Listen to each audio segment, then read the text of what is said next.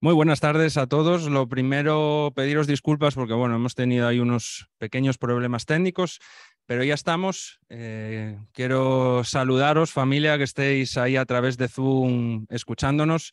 Dar las gracias, por supuesto, a, Invecta, que seguramente la conoceréis porque antes se, se llamaba BD, y por supuesto a Fede por poder, bueno, por poder tener este, este espacio y, echar un ratillo hablando de, del tema de la administración de la insulina, que parece algo muy sencillo, pero, pero que bueno, que tiene, que tiene tela. Entonces, lo primero que os quería, quería hacer un poco es que la gente que está a mi alrededor se presente, porque bueno, eh, a mí seguramente ya me conozcáis, soy Adrián.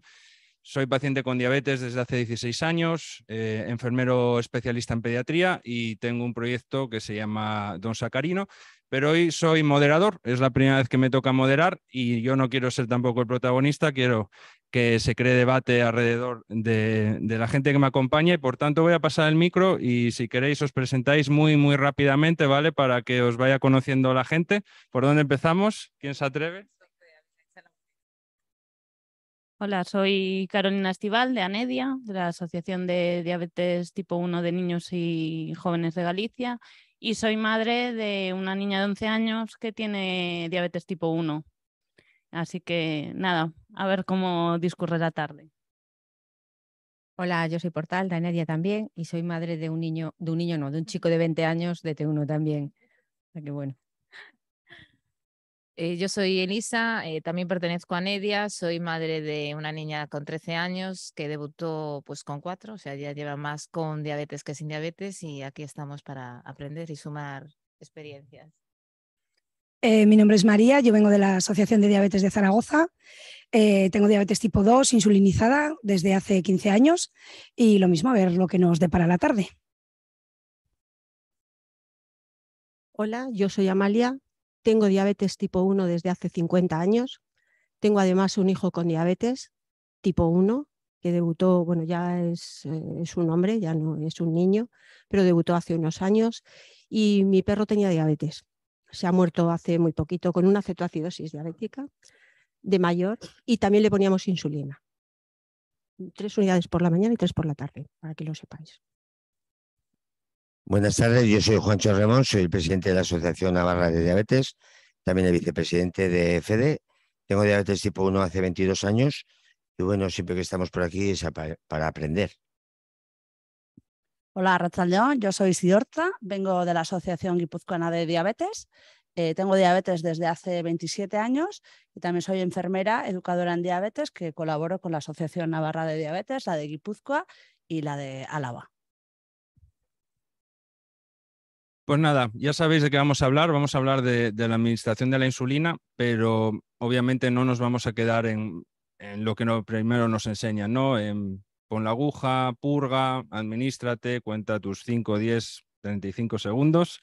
La cuestión es que hoy vamos a hablar un poco de, esas cosillas que yo creo que en muchas ocasiones no se, no se mencionan o se olvidan y que son muy importantes desde el punto de vista de, de la educación diabetológica para evitar la aparición de lipohipertrofias, como todo, el, todo el tema de la rotación adecuada, de una aguja, un pinchazo. Entonces, la primera pregunta que os quería hacer, y, y, sobre todo yo creo que va más enfocada a vosotras porque tenéis críos más pequeños y más recientes, es si vosotras de inicio habéis recibido ese tipo de información en la consulta de diabetes desde el punto de vista de qué es una lipohipertrofia, qué tienes que hacer para evitarla, qué pasa si aparece.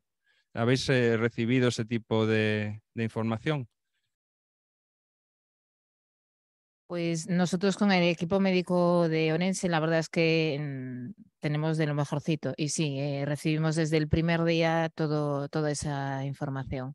Tanto lo que es una lipodistrofia, rotar zonas, cambiar aguja, está, están muy pendientes de todo eso y desde el primer momento, la verdad. Sí, yo también. Yo, Carlos, eh, Carlos debutó cuando tenía seis años y tiene 20 y de momento nunca ha tenido nada de eso. O sea, mm. sí que rota bastante bien salimos del hospital con las nociones básicas, pero muy bien. Bueno, eh, mi hija cuando debutó le tenía ya antes pánico a las agujas, con lo cual ese momento fue bastante traumático de repente tener que pincharte tantas veces. Eh, nos cuesta que rote, es muy cabezona y nos cuesta que rote porque tiene sus miedos y prefiere hacerlo donde no ve. Bueno, ahora lleva bomba, entonces las... Pero aún así eh, nos cuesta y alguna vez hemos tenido que dejar una zona descansar, no ha llegado a, pero hemos estado ahí al límite. Bueno, eso es un clásico en pediatría, lo de mi zona y, de ahí no, y de ahí no me saques. Pero bueno, está muy bien porque sí que es verdad que yo, igual por las redes y demás, tengo un poco más una visión global de, toda España. Y sí que es cierto que me escribe mucha gente y me dice, oye, pues estas cosas que me, que me cuentas, a mí en ningún momento me las han contado. Puede que hace mm, vosotros que ya sois veteranos, al igual que yo, yo llevo 16, bueno, tú llevas 50, casi nada. Eh, pues esas cosas igual eh, ni, se mencionaban, ¿no? Pero, pero, bueno, vamos un poco a hablar de ellas muy rápidamente. Como ya sabéis, eh, hay un concepto que es fundamental en esto de evitar las lipohipertrofias, que es el concepto de una aguja o un pinchazo. Yo siempre lo, defino así. Y aquí em, surge un problema y aquí podemos meter la caña que haga falta porque creo que es eh, importante y, más desde, desde las asociaciones, ¿no? que son las que tienen una mayor presión sobre, sobre el sistema sanitario en relación muchas veces a los centros de salud y a esos conceptos que tienen de, oye, eh, no hay ningún problema, reutiliza la aguja, que no pasa nada, la reutilizas dos, tres veces, no pasa nada, ¿qué va a pasar? Y te doy una caja y tiras con esa caja tres meses. Entonces, em, ¿tenéis alguna experiencia o tenéis em, alguna vivencia que hayáis tenido con respecto a, estas creencias que, muchas veces, claro, cuando nos vamos del entorno de, la consulta del endocrino, pues eh, hay una falta de información importante. ¿Alguien me quiere comentar? A ver, yo te contaría que un tío mío que además, bueno, falleció este año, no por diabetes y tal, pero bueno, eh, le sacaron diabetes, debutó hace, no sé, tres, cuatro años. Y entonces cuando fuimos cuando fue al médico me dijo que la acompañaría y le acompañé al médico, que era el médico del centro de salud, tampoco era un endocrino, ¿no? Entonces le dijo, bueno, pues usted se pincha, tintán, empezó a enseñar y le dije, ¿se puede poner esta aguja? Y se puede pinchar, pues lo que has dicho tú, ¿no? Dos, tres veces, ¿qué tal? Y dije yo, ¿eh? ¿Qué estás diciendo? Sí, es que, y entonces mi tío dice, no es que este, y le dije, sí, este tiene diabetes. Él ya le iba a decir que yo era el presidente de la Asociación Navarra, ¿qué tal? Y le dije, no, yo tengo diabetes. Y le dije, ¿tú te pinchas insulina? Le dije al médico, no. Se quedó así sorprendido. Digo, es que si, quieres te pinchas con una aguja cinco o seis veces o quince, me da igual. Pero es que no tiene lo mismo, eh, o sea, no pincha lo mismo la primera vez que ni siquiera la segunda ya no tiene el bisel bien, ya no tiene la silicona. Le digo, y además aquí no sé si has visto. Le digo, ¿ves bien, no? Dos no. Entonces, bueno, me miro mal y ahí se quedó la cosa, pero me pareció. Y eso que estaba yo ahí delante, pero yo le he oído a más gente. Ah, te dicen, va, pues te pinchas hasta que termines el boli a veces. Eh, eso está muy generalizado en diabetes tipo 2. En diabetes tipo 2 es algo muy generalizado en, las consultas de atención primaria. Se les da, es más, hasta incluso no se les dice que quiten la aguja, sino que dejen la aguja puesta y la tapen, con lo que eso implica. Entonces dejan la aguja puesta, la tapan y al día siguiente se vuelven a pinchar con la misma aguja. Incluso hay veces que le dicen, para que te acostumbres bien, las quitas los lunes, y así no se te olvida. Todos los lunes la cambias. Hombre, claro, evidentemente así no se te olvida, pero te has pinchado con ella siete días. Entonces, eso genera muchas más lipodistrofias independientemente del dolor, porque están eh, despuntadas las agujas, han perdido la silicona, tal, pero hace que haya más lipodistrofias. Y eso en tipo 2 es muy frecuente eso ya hablamos de otra cosa. Eso lo vamos, a, mencionar ahora. Y, sí que es cierto desde el punto de vista de, enfermería, eh, es, un concepto que no tiene ningún tipo de sentido porque nosotros cuando canalizamos una vía periférica y fallamos no reutilizamos la aguja, ¿no? Y claro, ni tú ni la mayoría de los que seamos un poco, un poco decentes en nuestro campo. Entonces, es, eh, ese concepto que, mm, que existe y, que es muy generalizado, porque sí que es verdad que la, rotación de la, de la zona em, pues es un concepto que, que, es mucho más sabido, pero el tema de una aguja, un pinchazo, en, en primaria, en primaria cuesta, cuesta muchísimo. Y en cuanto ya al tema de, la rotación de... Sí. Igual también cuesta mucho porque tampoco saben. Porque una cosa es lo que te dicen en la consulta de endocrinología, que saben muy bien una aguja, un pinchazo, pero luego vas a atención primaria y los de primaria no saben un, pinchazo, una aguja, el calibre cuanto más pequeño mejor. Y, y, hoy en día te pueden dar agujas de 8. Y ya eso pero claro, igual nosotros también creo que si ya sabemos eso, cuando nos hacen en contra eh, y nos dicen, no, pues tres pinchazos, digo, vale, pues dame por escrito y ya me voy a poner tres. Y nadie te dará por escrito eso. Y, y el que te dice que te puedes pinchar tres, igual también es porque no saben. Porque yo he estado trabajando en un hospital que no sabían, o sea, estaban utilizando agujas de ocho en planta. Y cuando llegué yo digo, ¿pero qué hacéis con agujas de 8? ¿Por qué tenían las agujas de 8? Porque no sabían que las de 6, las de 5, las de 4 son mejores. Y hay una desinformación entre las consultas de endocrinología, atención primaria, hospitalización y demás. No se transmite la información. No, hay una, hay una falta de información brutal. Digamos que lo top es, eh, eh, consulta endocrino eh, educadora primaria y ya, bueno, si nos vamos a hospitalización, eso ya es un campo, es un campo de batalla que urgencias, eh, falta, falta. Hay mucha, hay, hay, mucha falta de información porque me lo dicen los alumnos y, y se centran mucho en temas que realmente nos dan bastante igual a enfermería como es el tema de las complicaciones crónicas de la diabetes. Pues vale, pues son temas que sí que están ahí, pero que realmente no es lo que te lo que va a ayudar al paciente en el día a día. Y falta, falta muchísima información. Y lo que comentábamos, al margen del tema de un agujón pinchazo, el tema de, de la rotación de la zona, que si no lo sabéis os lo comento, que ya desde hace bastante tiempo el tema de las insulinas lentas ya sabéis que siempre existía el concepto de dejar una zona reservada únicamente para la insulina lenta. Si no lo sabéis, podéis romper con ese concepto, ¿vale? La insulina lenta la podéis administrar donde os apetezca, lo mismo que la rápida, pero es muy importante el tema de la rotación de las zonas. Y sí que es verdad que en pediatría son muy cabezones los nenos y muchas veces pues eh, quieren su brazo o quieren el sitio donde tienen un poco de mollita y no quieren saber y no quieren saber del resto. Hay una cosa muy interesante que no sé si la conocéis, son unos tatuajes em, que se llaman Tumi. Que, em, que están muy bien para el tema de la rotación de la zona, sobre todo recién debutados, porque es un, es un, tatuaje temporal, tú te lo pones y mm, imaginaos, por ejemplo, es una constelación de, de planetas y hay como unos puntitos donde tú te vas poniendo la insulina y cada vez que te la pones, tú cuando vas a limpiar esa, esa zona con, con, alcohol, ese puntito se va. Entonces es, una, es, un, es un concepto muy chulo que hace poco que llegó, que llegó a España y que puede ayudar también a, a los nenos a, a, buscar, a buscar otro tipo de zonas. Y después está el tema de la calidad de las agujas, que aquí este es otro tema que por desgracia no depende ni del paciente, ni en muchas ocasiones depende del propio profesional de salud, depende de, em, pues de los que están más arriba y del dinerito exactamente. entonces, yo no sé cómo es vuestra situación actual con el tema de las, de las agujas. ¿Estáis contentos? ¿Qué hay por ahí? A ver, cuando Alejandra debutó, mm, no vamos a poner nombres, ¿verdad? el sistema sanitario allí en Galicia tenía y tiene una determinada marca.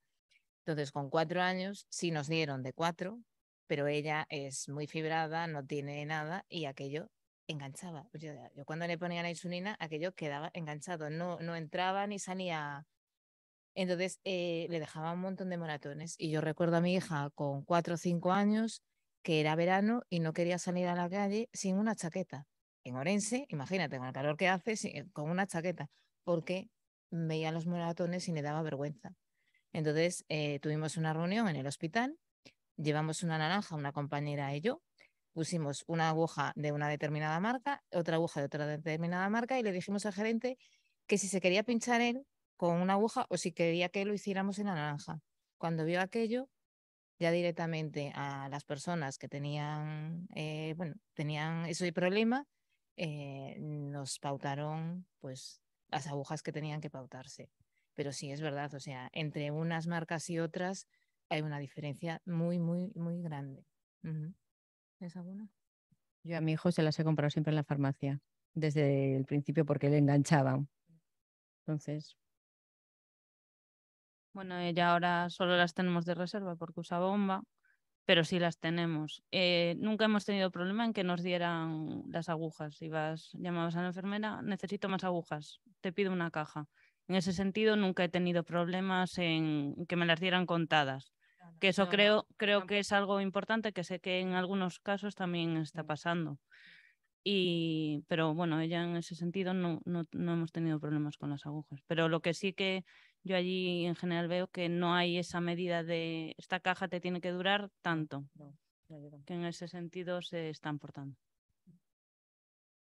Eh, yo creo que, a ver, otro de los problemas, volvemos siempre a lo mismo, ¿no? Que la gente que decide qué agujas se van a dar no se pincha. Claro, es lo que comentabas tú. Entonces, claro, vas allí, les enseñas, o con una naranja, o con tal, o no, pinchate tú. Ah, claro, ah, claro, es que como tú no te pinchas. Entonces, volvemos a lo mismo, ¿no? Que a lo mejor incluso las personas que deciden es que no saben ni de lo que están decidiendo. Exactamente. Más luego la parte B, que es la parte económica. En otras comunidades, no sé, pero la nuestra va al céntimo. Y si hay una un céntimo más barata, se van a ir a la barata, independientemente de las calidades. Por eso también la importancia o la reivindicación de que los pacientes formemos parte de esa toma de decisión, o al menos del, del probar ese material. En Aragón hubo una temporada que se entregó una marca concreta y ese concurso se retiró. Luego entras, pues eso, con el tema concurso público, que si los pliegos, que si no sé qué, que sí, que es todo un, un mundo para querer, querer hacer o querer reclamar o querer...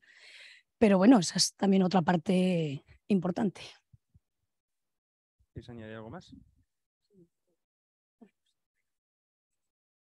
Aquí en la Comunidad de Madrid ha habido un concurso público, efectivamente, donde se pidió que las, eh, la federación y eh, bueno, se les informara sobre, sobre el tema de las agujas. ¿no? Entonces, efectivamente, se hizo un informe y tal, y se, se llegó a un acuerdo mm, donde bueno, se aconsejaba desde la asociación, bueno, no es desde la asociación, desde la fundación, qué tipos de agujas para las personas con diabetes nos podrían ir, serían las más adecuadas. Cuando salió el, resultado de la, cuando se resolvió el concurso, eh, nos escucha mucha gente, lo digo porque se lo pasaron por el arco del triunfo, ¿vale? Por ser fina. Se lo pasaron por el arco del triunfo y sacaron lo que a ellos les pareció, consideraron oportuno, tanto el número, tanto el número que tenía la aguja, como marca. Eh, se recurrió, se ha vuelto a recurrir, se ha vuelto a recurrir y las personas que estamos con, que tenemos diabetes en la Comunidad de Madrid andamos mm, en un stand-by pendientes de qué es lo que va a pasar. Entonces es muy complicado porque, porque es difícil. Muchos, durante este tiempo, muchos padres eh, están comprando las agujas, ¿vale? Con lo que eso supone, porque todos sabemos que, bueno, pues que es caro y que cuando tú te pinchas insulina no te pinchas una vez al día ni dos, te pinchas seis o siete o más, efectivamente, o más. Entonces, eso en el coste de una familia, conforme tenemos ahora la inflación y conforme tenemos ahora la calidad de vida, eh, es complejo. Además, le añadimos que, curiosamente, una de las familias nuestras de la asociación eh, buscaron mm, farmacias dentro de la Comunidad de Madrid que fueran más baratas y se fue de vacaciones, creo recordar que fue a Vigo, creo recordar que fue a Vigo. Y en Vigo le costaron la caja de agujas la mitad que costaba en la Comunidad de Madrid. Claro, la misma. Entonces, hombre, es muy triste. Es muy triste a lo que se está llegando en este sentido porque estamos hablando de la calidad de vida de las personas, no estamos hablando de, de las flores, estamos hablando de la calidad de vida de las personas, que es el objetivo básico. Y a nosotros también, aparte de la calidad de vida, el control, que empeora una barbaridad, que eso también lo vamos a ver. Yo, bueno, yo sí que voy a decir mi propia experiencia. Hace mm, ya años que no, que no utilizo agujas porque voy con bomba, pero yo eh, siempre en mi comunidad eh, se ha utilizado eh, la marca DVD y yo la verdad es que personalmente el poco recuerdo que tengo de, de, esa, de esa, época y, de, y, de, mis pinchazos, mis seis, ocho, los que sean pinchazos diarios, no los recuerdo malos. Y así investigando un poco, sí que es verdad, quería daros una pequeña pincelada para que, para que lo sepáis, unas agujas que, que han salido hace nada de, la marca DVD Mm, que, tienen dos conceptos muy interesantes. Uno es lo que han denominado el pentapoint, que es que básicamente las agujas convencionales em, están biseladas o tienen como tres biseles, ¿no? Y en el caso de estas DVD han conseguido hacer cinco biseles. Entonces, cuantos más biseles eh, tienes, más, más suave entra, mucho más cómodo es, menos eh, moratones generan, que después para quitar los moratones tela tela para quitar los moratones y bueno, y después el tema estético en los niños y en los adolescentes que les preocupa un montón.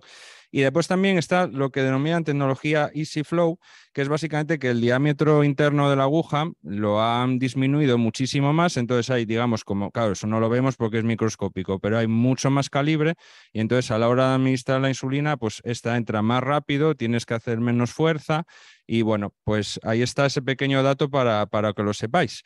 Y después está otro tema muy importante y donde también eh, tenemos el problema de la, de la, falta de educación que mm, no influye en el tema de las lipohipertrofias, pero sí que influye, por ejemplo, en el tema de las, de las hipoglucemias, que es la longitud de la aguja.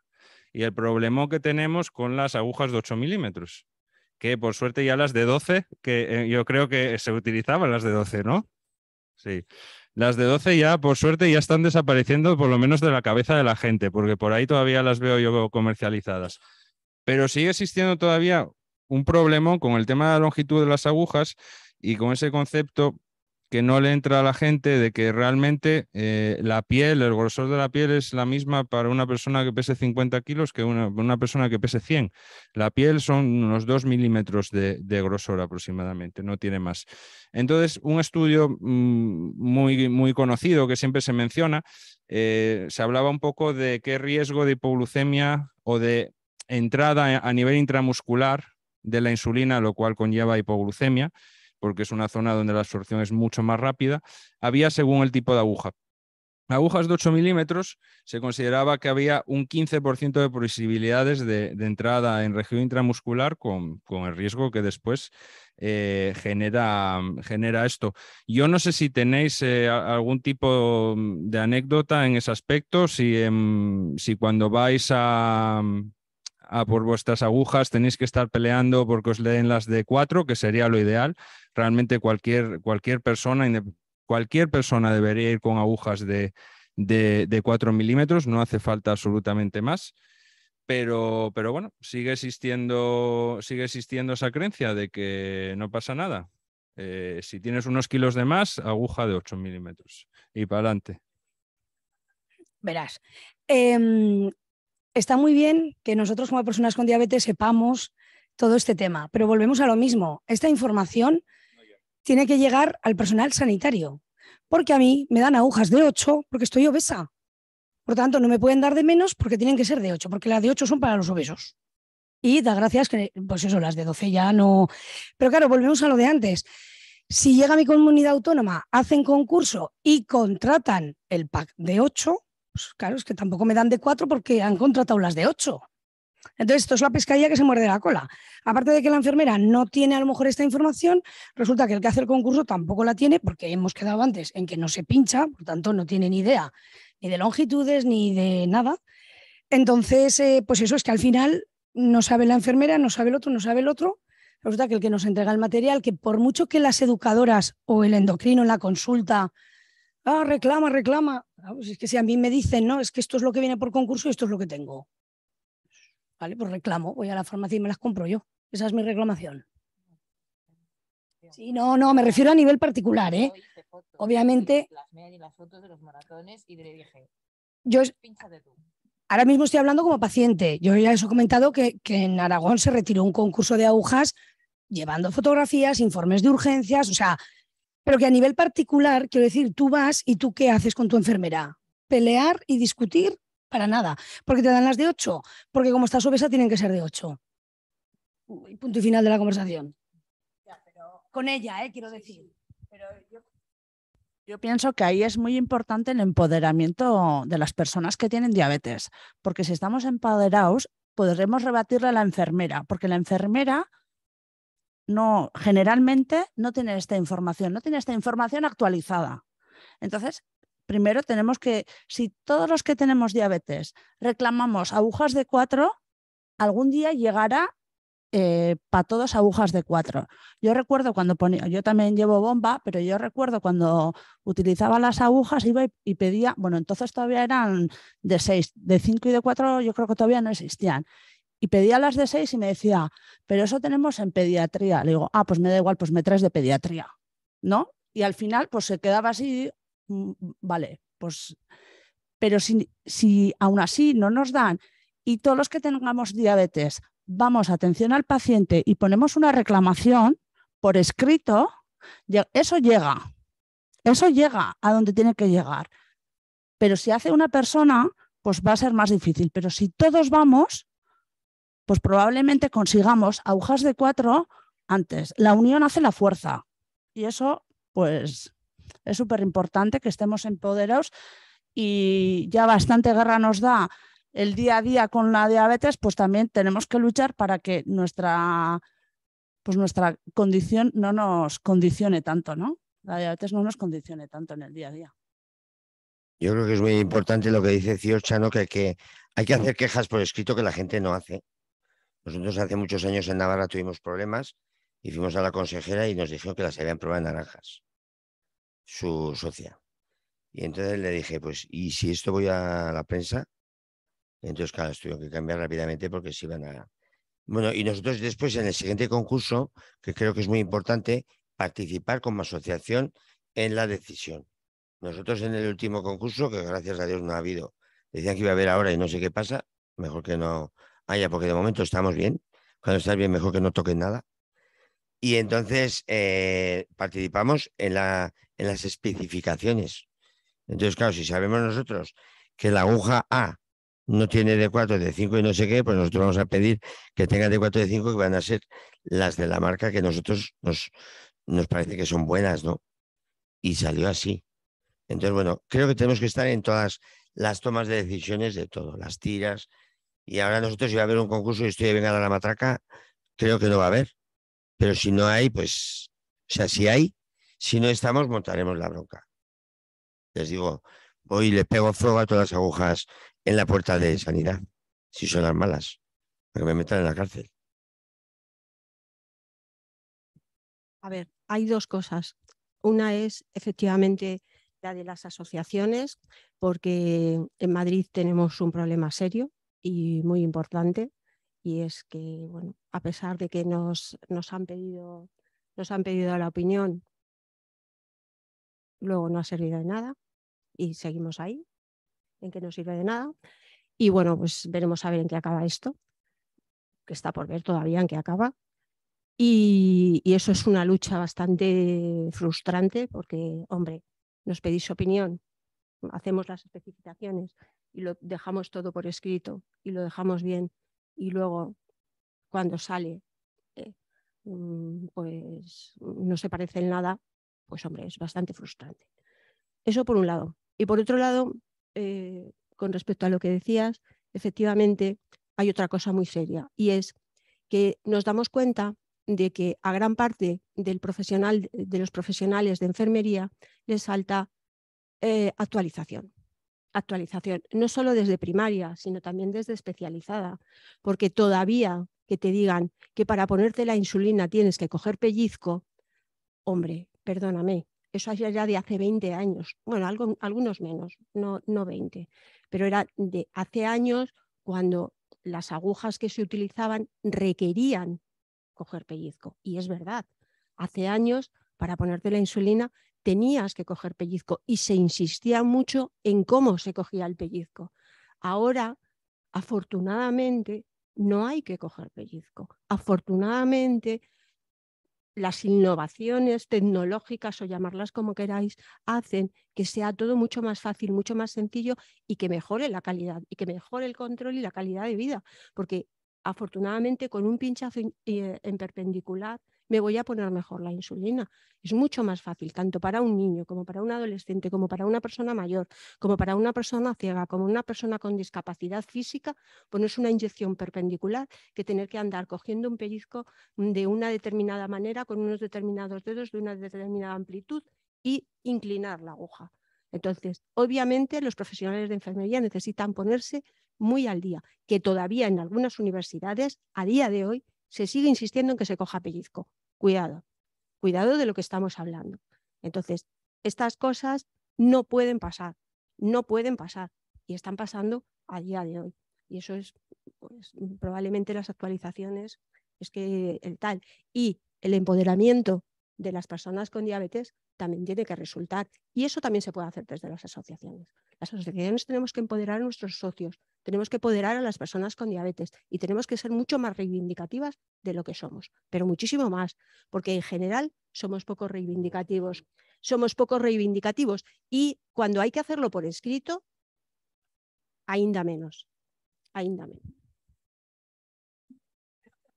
Y luego otra cosa también, claro, estamos diciendo que mm, el personal de enfermería en general no está eh, actualizada. Y para que ese personal esté actualizada es muy importante la implicación de los eh, servicios de endocrinología, pues, por ejemplo, para formar a, los, a, los, que están estudiando enfermería, a los profesionales que ya están trabajando. Y es súper importante que se impliquen y que su trabajo no solo se limita a la consulta con las personas de diabetes, sino que a todas las personas que, o sea, tienen que formar también a, las a, toda a, todos los profesionales que trabajan con personas con diabetes. Eso tiene un nombre y es inercia terapéutica. Muy bien, pues, pues bueno, los que estáis ahí ya sabéis lo que tenéis que hacer cuando, cuando veáis que, la, que las cosas no son como son y os las están poniendo de revés, pues queja, queja y queja y sumar quejas y sumar quejas. Porque, mm, y ahora ya entramos en el tema y en la complicación, que es el tema de las lipohipertrofias, que son, son un problema muy gordo. Eh, nunca se habla de ellas. Es una complicación que, que, bueno, que está ahí, pero no suele ser, no se le suele dar la importancia que tiene cuando encima es la complicación que más rápido puede aparecer en una persona con diabetes y que tiende a incluso a cronificarse dependiendo de lo grave que sea. Mira, tengo yo por aquí un estudio que mm, con 430 30 pacientes con, con tipo 1 que mm, de las cuales el 64% em, tenía lipos y el 70% reutilizaban las, eh, reutilizaban las, las, agujas. O sea, el, porcentaje es, altísimo. Y ya no es el problema de, la, de la lipo en sí, sino es que de esta gente de esta gente, un 39% tenía hipoglucemias inadvertidas y un 49% tenía una variabilidad glucémica eh, muy, muy elevada cuando Aquellos que no tenían lipo solo tenían un 6 y un 7% respectivamente. Incluso las cantidades de insulina que se tiene que poner una persona que tiene lipodistrofias, lipohipertrofias, perdón, eh, son mucho más, son mucho más eh, elevadas. Pues hablamos de que el tipo 2 se tiene que poner hasta 21, se ponen hasta 21 unidades extra. Eh, tipo 1, 8, 8, unidades extra, según, según, según este estudio. Y mm, y os digo, el tema de las lipo, que son lipohipertrofias, ¿vale? Porque muchas veces decimos lipodistrofias, pero realmente lo estamos diciendo mal. Las lipodistrofias es como eh, lo que engloba las lipoatrofias, que son otra cosa diferente que es muy raro que se da en la diabetes, suele ser más de síndromes y, otro tipo de patologías, y las lipohipertrofias, que son como esos bultomas, esos bultos que salen y que mm, seguro que aquí alguno habéis tenido y que cuesta horrores quitarlos. Horrores, horrores, y hay, veces que, mm, que incluso ni, ni somos capaces. No sé si tenéis vosotros experiencia. Yo es que personalmente lipohipertrofias nunca he tenido. Entonces, si queréis contar un poco los que lo hayáis tenido. A ver, yo sí he tenido algunas, sobre todo en los brazos y en las piernas. Eh, claro, porque yo me pinchaba con, con aguja que había que hervir. O sea, agujas que eran de, de 12, efectivamente, porque no había otras. Entonces esas agujas había que hervirlas y evidentemente había que coger pellizco. Porque era, sí, eran otros tiempos. Y bueno, enseguida que salieron las agujas, las primeras agujas que salieron eh, o jeringas de plástico también eran de 12. Luego ya cambiaron y fueron siendo de 8 y tal, pero bueno, en principio eran así. Eh, yo sí que tuve lipodistrofias en, los, en las piernas y en los brazos, pero poquito a poquito me han ido desapareciendo y ahora mismo llevo, yo llevo con bomba ya unos años. En la actualidad ahora mismo no tengo. Yo también es verdad que he utilizado como algo que os puede sonar extraño y es em, desde, el, desde el inicio, práctica poco después de empezar con diabetes, bueno, poco después, pues, no sé si poco después, que hace tanto que no sé si fue poco después o diez años después, o sea, mm, que hace tanto que no me acuerdo, pero sí, probablemente fueran como diez o, más. Em, después algo que, que no sé si todavía seguirá funcionando, pero era algo que utilizábamos y que son las, las cremas anticelulíticas. Las cremas anticelulíticas de las que no producían ni frío ni calor, simplemente una crema anticelulítica eh, básica, que no sea una crema anticelulítica que la puedes comprar en cualquier mercado, y eso facilitaba la, que ese bulto que te había salido, ese bultoma, bueno, pues se reabsorbiera de manera más, más sencilla. También es verdad que nunca tuve de estos que salen en las fotos, que ves ese bultoma que dices, Dios mío, ¿no? Pero sí que he tenido tanto en los brazos como en las piernas.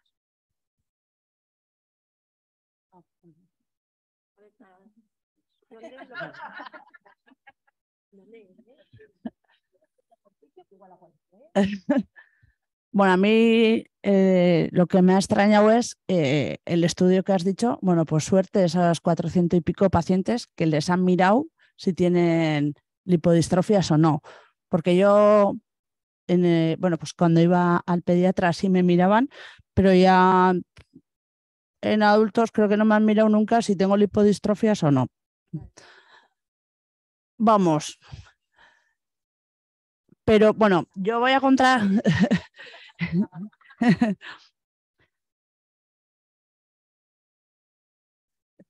yo así como una anécdota, yo fui, bueno, pues, eh, bueno, fui a donde un fisio y él lo que me dijo es, bueno, pues yo pues rotaba, ¿no? Pues en las piernas, brazos, eh, bueno, entonces tenía bomba y yo creo que ponía, no sé, la tripa y en el culo, creo.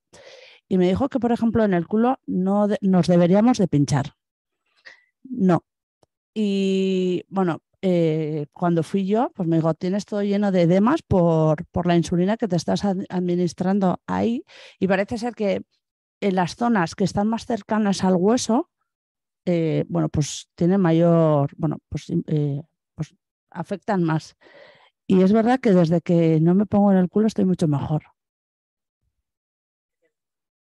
Pues pongo en la espalda, la pierna. ah, Ah, no, no, no, yo, yo, yo me siento muchísimo mejor. Yo antes estaba como cansada y, noto muchísima diferencia. Sí. Y noto mucha diferencia. Y él siempre me dice, eso deberíais de, ahora tú que sabes, deberías de, de decir a la gente. Y noto yo muchísima diferencia. Yo, yo antes igual estaba como más cansada y ahora estoy muchísimo mejor. Yo llevo siempre poniéndome en el culo, como dices tú, y como nunca estoy cansado, no he notado ninguna mejoría ni empeoría.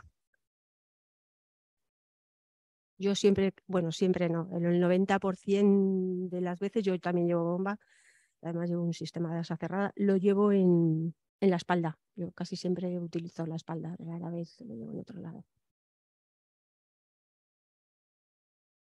Eh, con respecto a las lipohiperdistrofia, eh, cuando Alejandra debutó, claro, tenía cuatro años.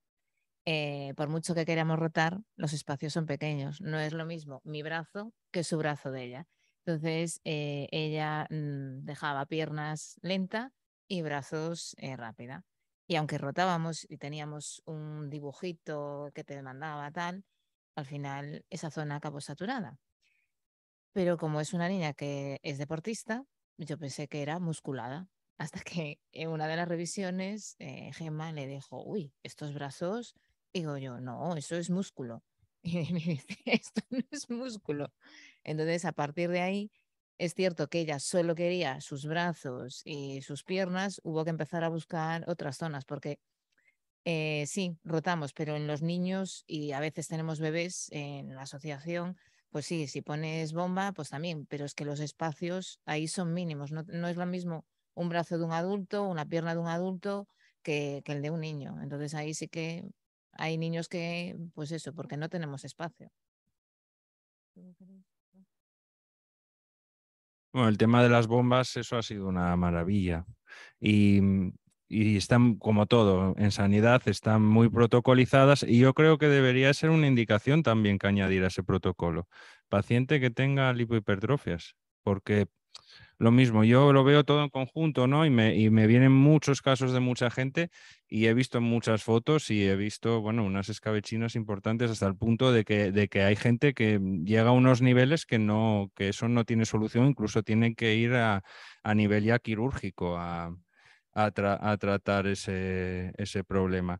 Entonces, tienen muchas historias lo de las lipohipertrofias, como es también pues, el tema, eh, y esto puede volver a, los padres locos, si por ejemplo en tu caso no te lo hubieran detectado, que tú igual utilizas una determinada zona donde tienes esa lipohipertrofia, eh, no está bien, haces una serie de cambios y después cuando vas a rotar otra zona que está bien, pues todos esos cambios, ¡pum!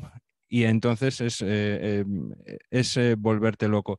Y, lo que comentabais de que, bueno, eh, el tema de que te miren, pues a mí en adultos no me han mirado en la vida. Es más, yo puedo decir que, mm, que yo no tengo formación en, detección de lipohipertrofias, porque la verdad es que como asistencialmente no me, no me dedico al, al tema de diabetes, pues yo me, incluyo en, ese grupo de gente que está pendiente de, actualizarse de actualizarse en el tema.